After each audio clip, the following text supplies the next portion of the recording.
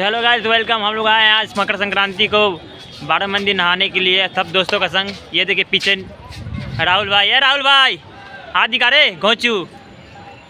हाँ इधर देख लीजिए ये कमलेश जाने मन। आई है अपना बंदा अभिषेक भाई। और हम लोग आए हैं बारह मंदिर आप लोग को बारह मंदिर का सीन दिखा देते हैं कुछ ऐसा। ये है मंदिर। वो हमारे नंदी भगवान।